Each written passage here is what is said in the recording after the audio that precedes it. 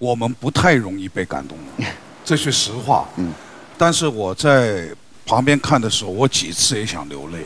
嗯，这一代人身上拥有很多品德，是我们这个民族的财富。那这些品德怎么会形成的？当然有很多原因，你离不开天赋，离不开勤奋，相当重要一个原因，家风。君子事其家，家风你看不见摸不着，但是他会给孩子真的种下一颗飞翔的种子。所以这一家，你看，都我听的就又想哭又想笑。笑的时候就是讲到哥哥造飞机，弟弟打飞机，妹妹躲飞机的。这但是这是一个什么？说明从小他们心中有一个梦想，这个梦想跟飞翔有关。无论他们离开家乡多远，他们始终带着一个梦想在飞翔。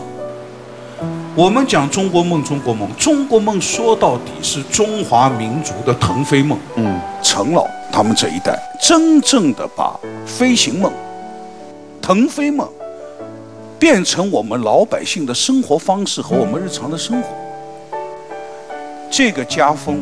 和秉承这些家风，以陈老为代表的这一代知识分子，让我感动而钦佩。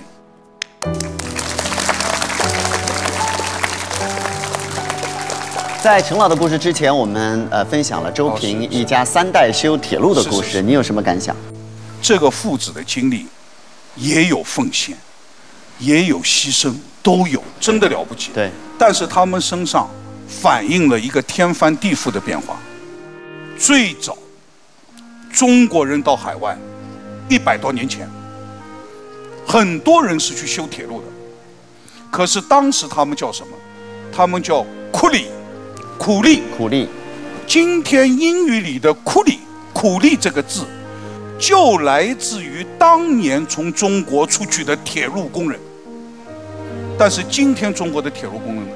带着最新的设备、最新的技术，今天是 number one。对，所以他们这两位父子也是，他俩不止千里，将近万里的到埃塞俄比亚，带出去的什么？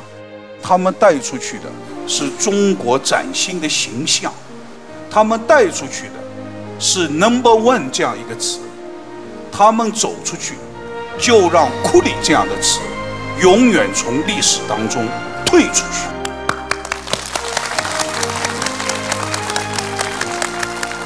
谢谢，我们感谢这一季节目钱老师跟我们分享。谢谢谢谢。我觉得呃，从我们每一个嘉宾身上学到了很多，从您身上我们也学到了很多。再次感谢，谢谢您，谢谢。我们掌声也给钱文忠教授，谢谢。